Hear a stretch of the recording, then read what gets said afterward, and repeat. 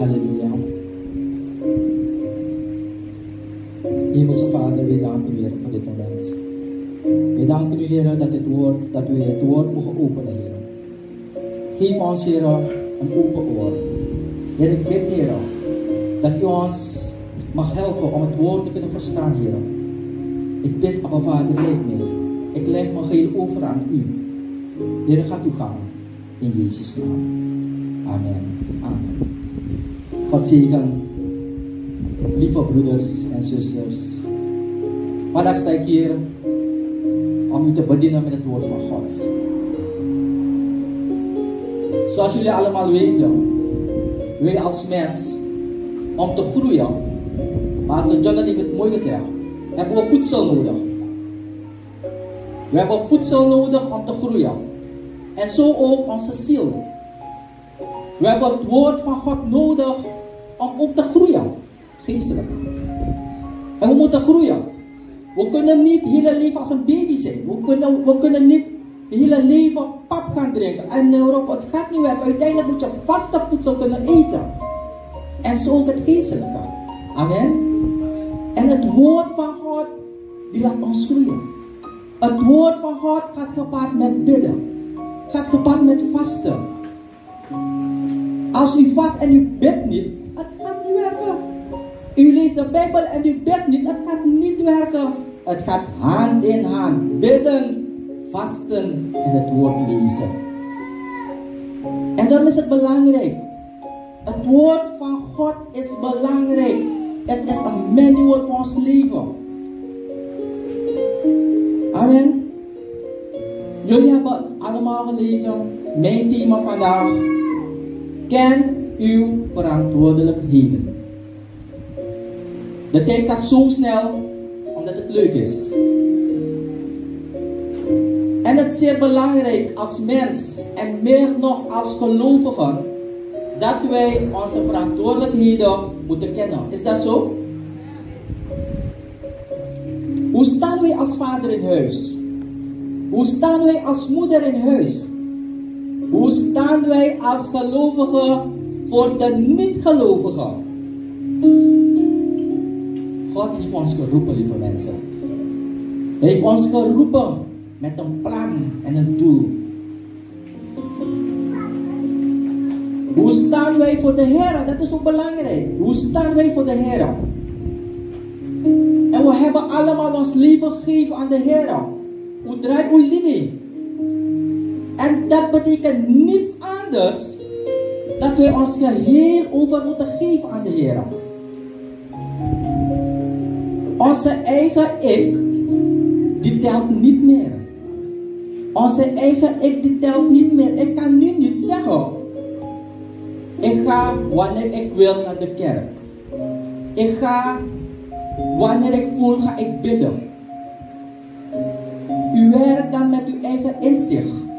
Het is God die u moet leiden. En als u bidt, als u de Bijbel leest en als u vast, dan gaat u zien hoe de Heer u gaat leiden. Dan gaat u zien welke richting de Heer u wil brengen. Ik zeg het keer op keer. Ik kon ergens anders gaan. Of zijn. Maar de Heer heeft mij naar hier toegeleid. Om u te bedienen met het woord van God. En jullie allemaal ook. Jullie hebben de beste keuze gemaakt vandaag. Om hier te zijn. Er is reden genoeg om hem te danken. Amen. Er is reden genoeg om hem te eren. Het is God alleen, lieve mensen, die bepaalt wel, welke richting wij moeten opgaan. Het is God alleen. En wij hebben allemaal onze verantwoordelijkheden. We gaan lezen. Of de Bijbel zegt ook in Hebreeën 10, vers 25. Ik heb het niet uh, doorgegeven. En de Bijbel zegt hier: wij moeten onze eigen bijeenkomst niet verzuimen. Zoals sommigen dat gewoon zijn, maar elkaar aansporen. En dat, en dat des te meer naarmate gij de dag ziet naderen. En ik heb ook opgemerkt bij jullie, jullie hebben familieleden meegenomen. Jullie hebben vrienden meegenomen. En dat is goed. Nodig mensen uit. Wij zijn degene die het licht moeten schijnen naar de anderen. De nood is groot, lieve mensen. En God heeft een plan met een ieder. God heeft een plan met een ieder, lieve mensen. Het maakt niet uit hoe klein of hoe groot u bent. God heeft een plan met u. Zeg aan uw buurman en buurvrouw, God heeft een plan met u. God heeft een plan met u. God heeft echt een plan met u. En God gebruikt steeds mensen. Als je de Bijbel leest, de Oude Testament, God gebruikt steeds mensen om zijn plannen te kunnen vervullen hier op aarde. Hij gebruikt steeds de mensen. God zoekt toch, is dus een mens door wie hij kan werken. Door wie hij kan werken. Om de mensen te redden uit de zonvloed was een Noah nodig. Om het volk Israël te leiden was een Mozes nodig. Om Israël uit de ballingschap terug te brengen was een Daniel nodig. Om Jericho te verslaan was Joshua nodig. Om Suriname te redden heeft hij u en mij nodig. Om uw familie te redden heeft hij u en mij nodig. Om uw vrienden te redden heeft hij u en mij nodig. Om uw gezin te redden heeft hij u en mij nodig. Om uw vrouw te redden heeft hij u en mij nodig. Om uw man te redden heeft hij u en mij nodig, lieve mensen. Ken u uw verantwoordelijkheden. Sabi uw verantwoord toe. Zijn geroepen. Aan ieder zijn geroepen. Aan ieder. En ook om zielen te winnen voor Gods koninkrijk heeft hij u en mij nodig. Wat moeten we dan doen? We moeten onze plichten kennen. Ik heb het verhaal van Samuel bestudeerd. En dat heeft me aangeraakt, lieve mensen.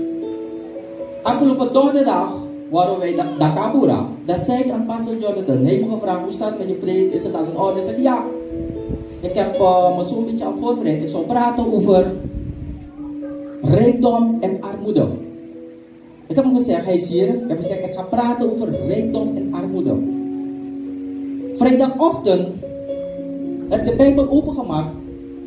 Ik voelde geen rust. Van, nee, nee, ik moet het anders gaan zoeken.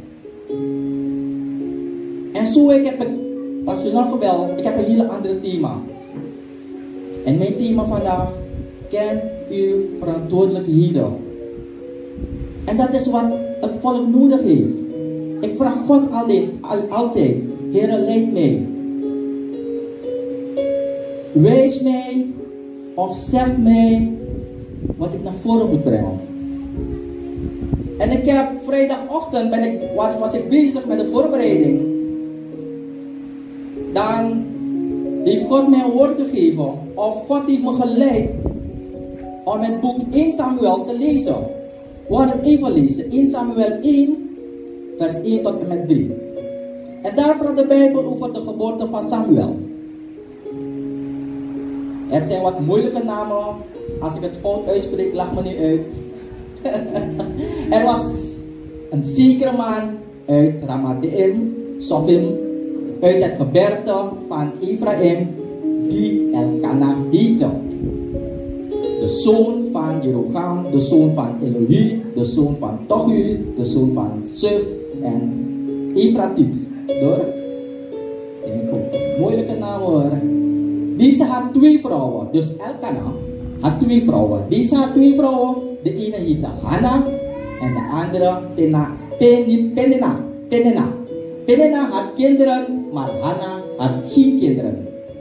Drie.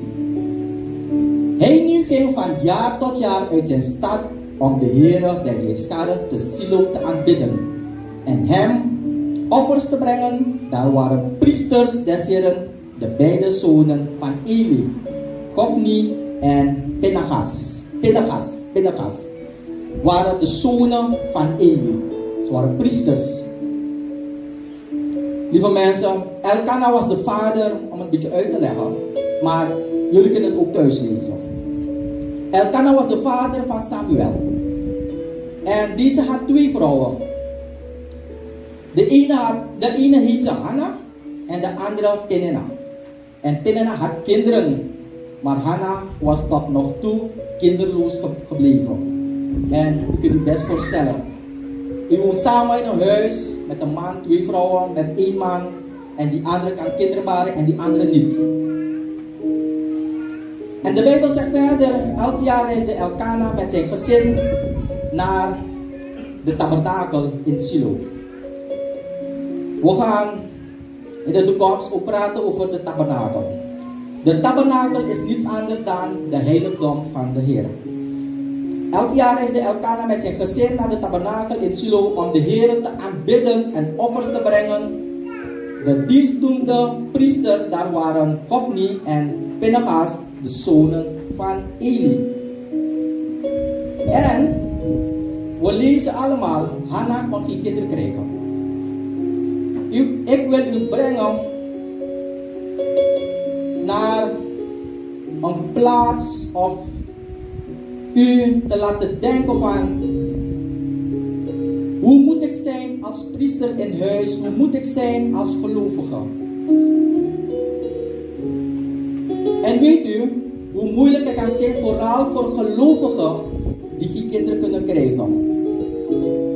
Pastor Jonathan stelde me een dagje een vraag, Hoe zou het zijn als voorganger zonder kinderen? We zijn voorganger, hij is voorganger, hij heeft geen kinderen. Hoe zou het zijn? Is moeilijk en ik kan me best wel begrijpen. Hanna, het was moeilijk voor Hanna. Ze verlangde naar een kind. Ze verlangde echt naar een kind. En in 1 Samuel, 1 Samuel vers 1 tot met 10, dan gaan we lezen. En bitter bedroefd. Ze was zo bedroefd. Ze had zo'n verdriet. En bitter bedroefd bad zij tot de Heer en weende zeer. Door? Nee, vers 1 tot en met 10 hoor.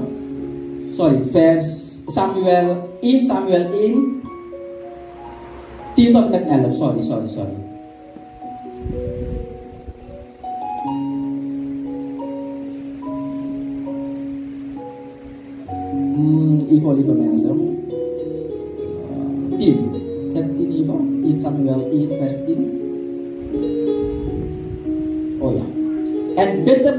Bad zij tot de Heer en weende zeer. En 11. Toen dit zij een gelofte en zei de Heer der Heerscharen, indien gij werkelijk naar de ellende uw dienstmacht omziet en mij gedenkt en uw dienstmacht niet vergeet, maar aan uw dienstmacht een mannelijke nakomeling geeft, dan zal ik die voor zijn hele leven geven en geen schermes zal op zijn hoofd komen.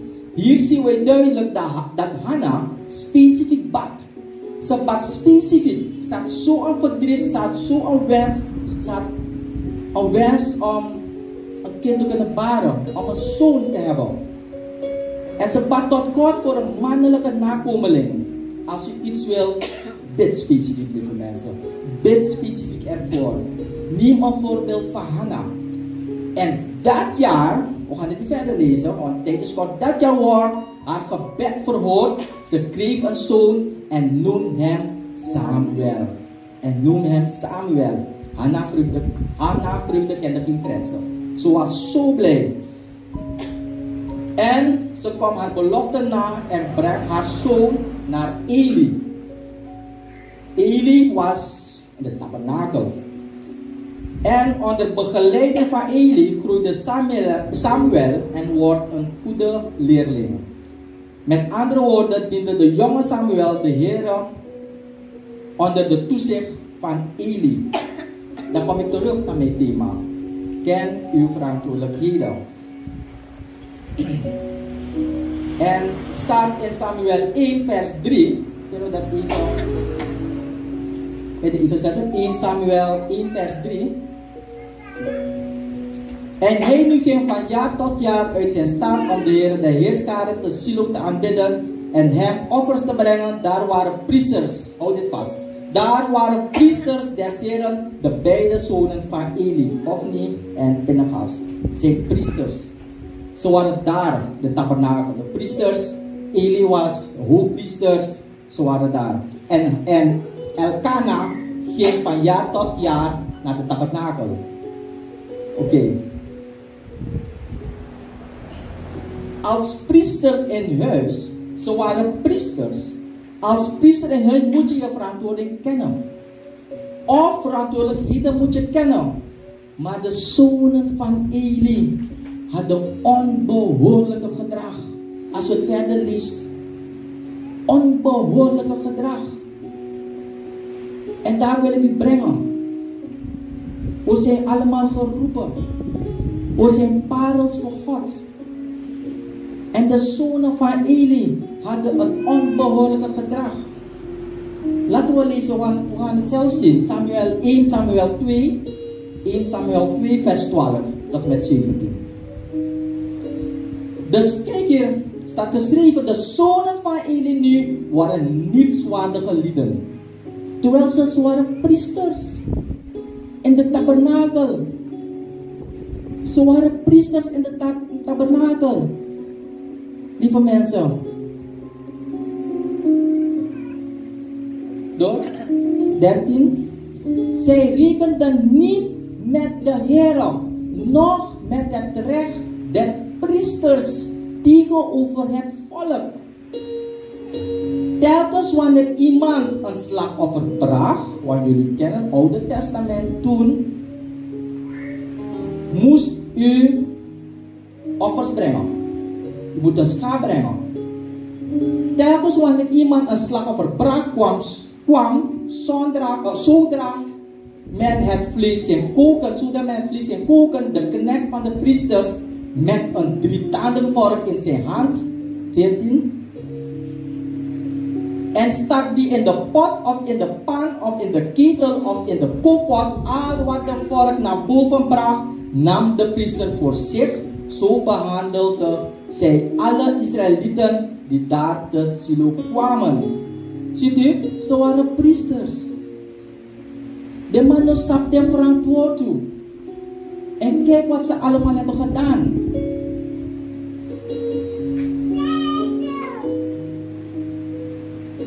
De zonen van Eli waren niet zwaardig, lieve mensen. De zonen van Eli waren slechte mensen om het, om het gruw te zeggen. De zonen van Eli waren slechte mannen die niets om de Heer gaven. En ze maakten misbruik van hun priesterrechten. En het gebeurt nog steeds. Het gebeurt nog steeds bij de leiders. Het gebeurt nog steeds bij de gelovigen. Het gebeurt nog steeds.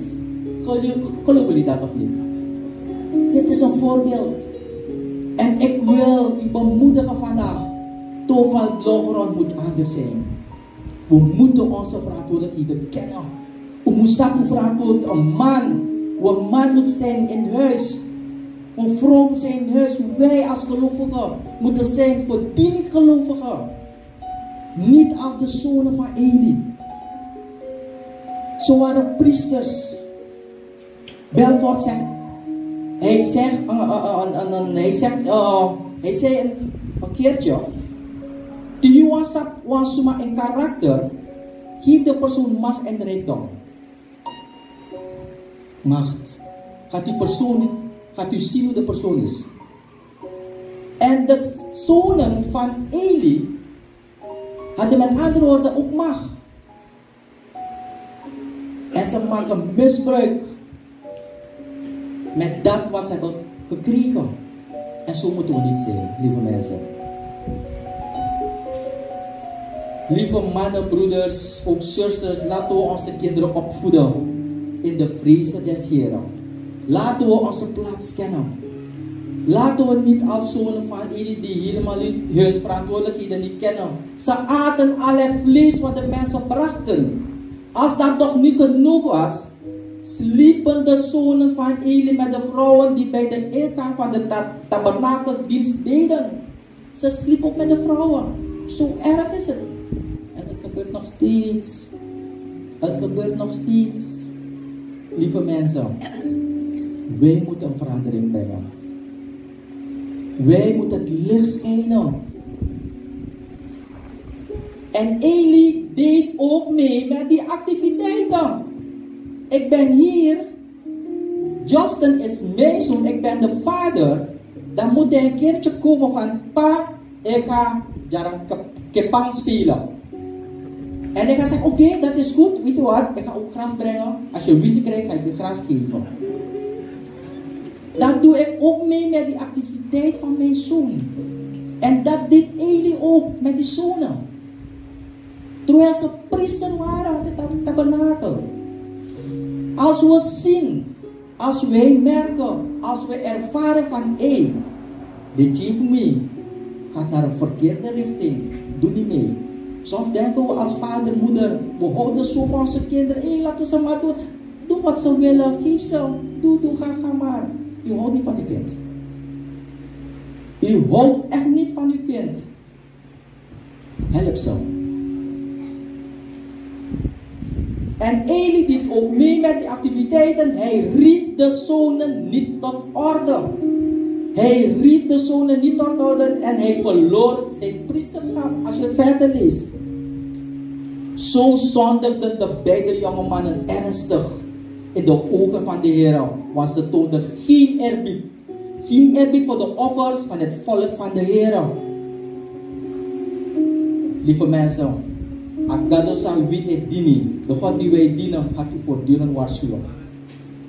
U kunt me geloven, gaat u voortdurend waarschuwen, maar voor de slechte daden. Maar het is nu de keus wat u gaat maken. Gaat u negeren of gaat u luisteren? En vandaag sta ik hier om u te bemoedigen. Maak een keus voor de Heer. Als God zegt, stop ermee, zondig niet meer, luister naar het woord van God. En 1 Samuel 2, vers 27 tot 36.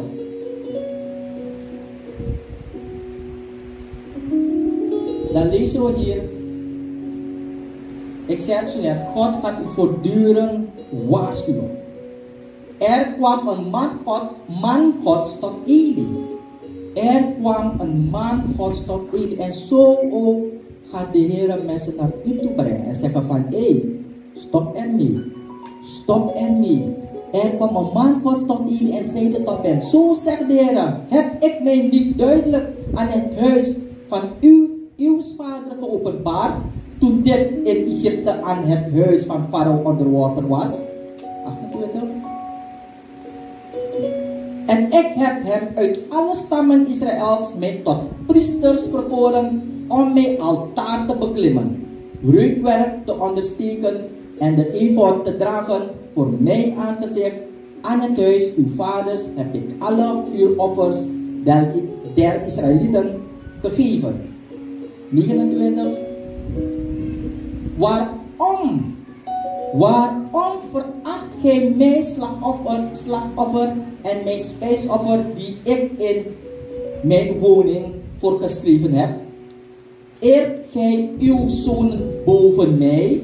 Kijkt u, eert gij uw zonen boven mij?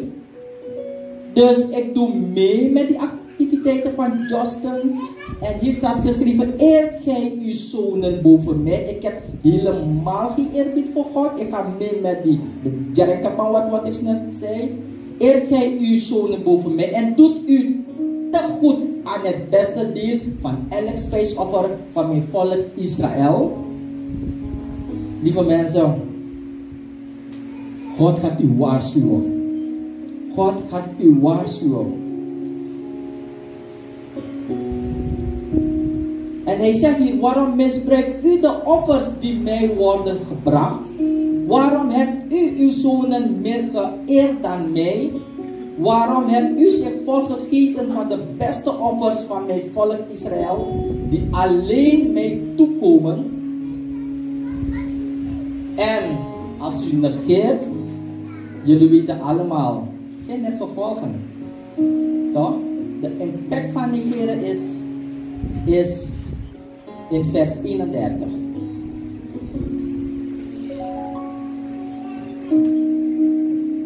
Kijkt u hier. Hij vernegeert. En zie de dagen komen dat ik uw kracht en die van uw vaderhuis verbreken zal. Zodat er geen oud man in uw huis zal zijn. 33. Gaan naar 33. Maar de enkeling die ik niet zal verdelgen van bij mij altaar zal uw ogen verteren en uw leven doen verkwijnen. Al wat uit uw familie stamt zal op mannelijke leeftijd sterven. Zal op mannelijke leeftijd sterven. En 34, laatste. Dit is impact van, van zonde. En wat uw beide zonen, uh, Gofni en Pinchas, zal overkomen, zal u tot teken zijn, want één, tot teken, op één dag zullen zij beide sterven. Als u het verder leest, gaat u zien, inderdaad, op één dag zullen ze beide sterven. Dat is impact van zonde. God gaat u steeds waarschuwen en u zegt nee, ik blijf maar door en door zondigen, dan zijn er gevolgen. Een slechte priester of leider of voorganger, dat gaat maken dat de gemeente strijd nooit overwint. De gemeente gaat de strijd nooit overwinnen als er een voorganger is die eigenlijk niet doet wat de Heer zegt. Wat een gemeente moet kunnen strijden. Een gemeente die strijdt en overwint. Amen. Dat moet de gemeente zijn. Een gemeente die strijdt en overwint. Maar als we priester hebben, als de zonen van Eli, gaat dat niet lukken. De gemeente gaat nooit groeien. En zo ook in uw gezin. Als u, u bent vader in huis, u bent priester in huis. En u doet net als de zonen van Eli, ga niet denken dat u overwint. Gaat, uh, gaat, ga u niet denken dat u doorbraak gaat krijgen. Gaat dat niet verwachten. U moet dat niet verwachten. En ik heb een paar punten gelezen voor jullie. Wat er allemaal is gebeurd met de zonen van Eli.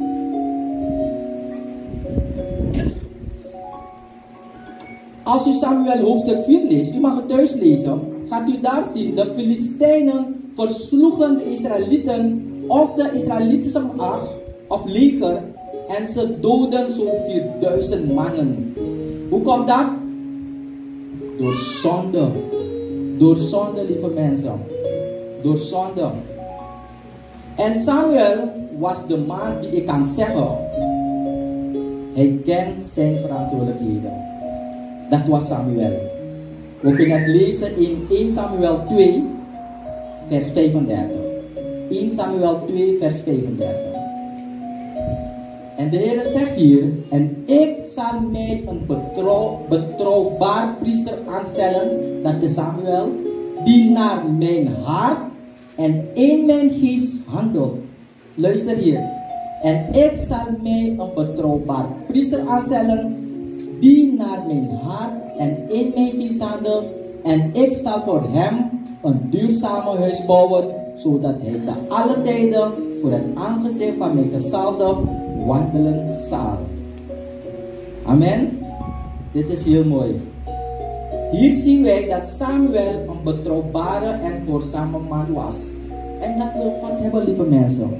En dat wil God hebben. De Heer zegt hier heel duidelijk dat hij iemand zou kiezen die in zijn hart en geest handelt.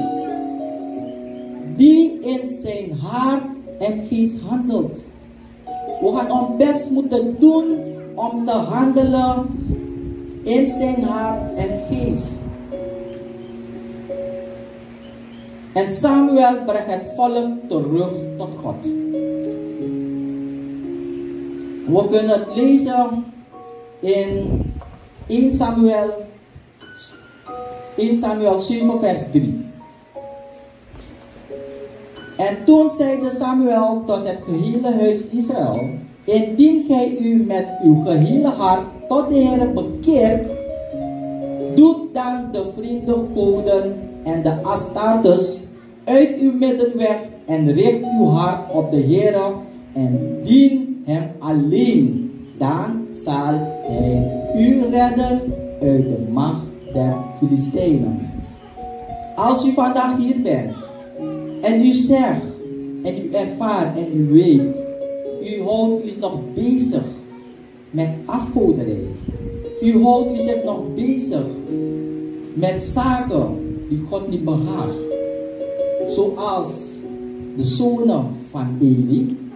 Dan roept God u vandaag, dan zegt Samuel, dat gehele huis Israël, indien gij u met uw hele hart tot de Heer bekeert, dan de vrienden goden, als staat zijn ook afgoderij, uit uw midden. Uit uw midden weg en richt uw hart op de Heer. En dien hem alleen, dan zal hij u redden uit de macht der Filistijnen. Dan zal u merken doorbraak. Dan gaat u merken genezing. Dan gaat u merken bevrijding. Amen. Geloven jullie dat? Amen. Samuel voerde de Israëlieten om hun hele leven toe te wijden aan God en hun afgoden te verwijderen uit hun midden.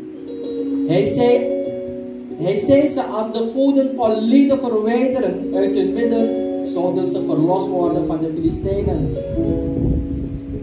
De tijd gaat zo snel, ik ga snel afronden. En verder deed Samuel belangrijke zaken voor Israël. Hij zorgde dat er weer moed kwam in het land. Hij zorgde dat er moed kwam. En wij, wij dragen die verantwoording. Wij moeten zorgen dat er moed weer komt in uw familie. Wij moeten zorgen dat er weer moed komt in uw gezin. Wij moeten zorgen dat er weer moed komt in de gemeente. Amen. Wij moeten dat, wij moeten als een Samuel doen. Wij, wij, wij, wij hebben geen andere keus. Wij hebben geen andere keus. En verder deed Samuel belangrijke zaken voor Israël. Hij zorgde dat er weer moed kwam in het land. Hij deed een oproep tot vasten en bekering. Was een leider die het volk wees op haar zonde. Hij van poortwachters, poortwachters uit de Levieten, uh, Levieten samengesteld. En we gaan even snel kijken uh, wat de impact is van gehoorzaamheid. 1 Samuel 7, vers 7 tot 13. Toen zei Samuel, ja, toen, nee, 13.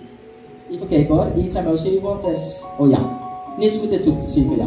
Toen de Filistijnen hoorden dat de Israëlieten zich verzameld hadden te mispa, trokken de staatsvorsten der Filistijnen tegen Israël, tegen Israël op. De Israëlieten hoorden dit en zij werden, en zij werden bevreesd voor de Filistijnen.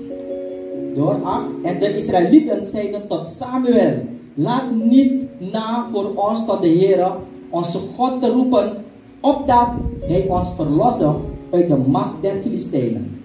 9. Toen nam Samuel een, een melklam en offerde het in zijn gehele, in zijn geheel de Heer tot een brandoffer. En toen Samuel voor Israël tot de Heer riep, antwoordde de Heer hem. Gehoorzaamheid hoor.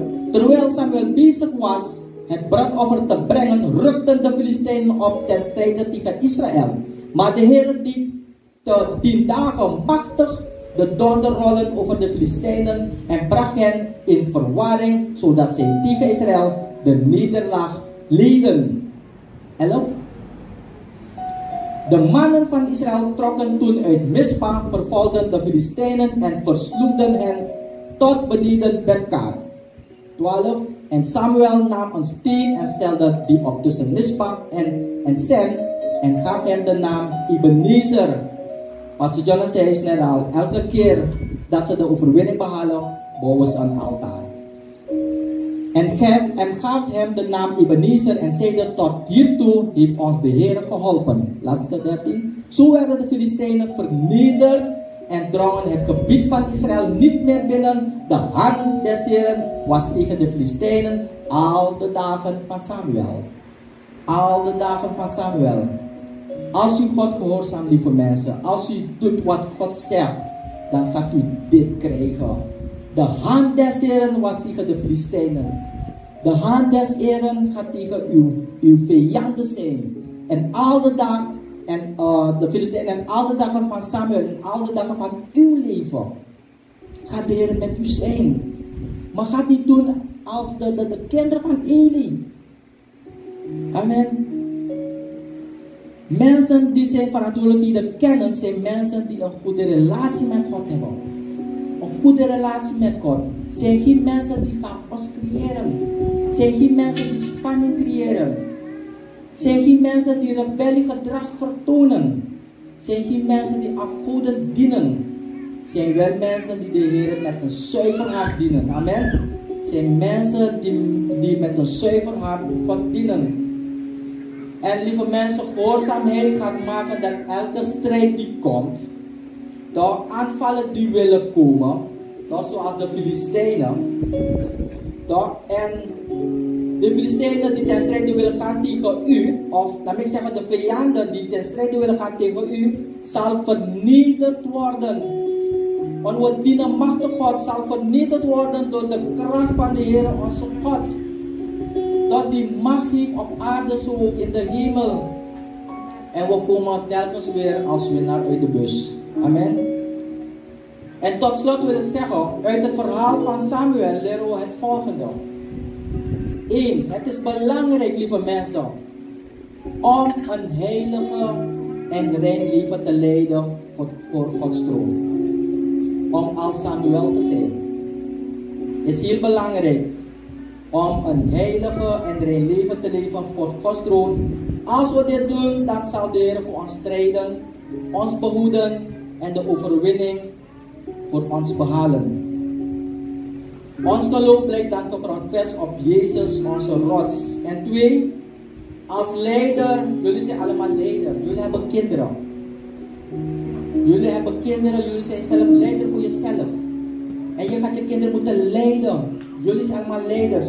Als leiders moeten we niet schroemen om op te treden.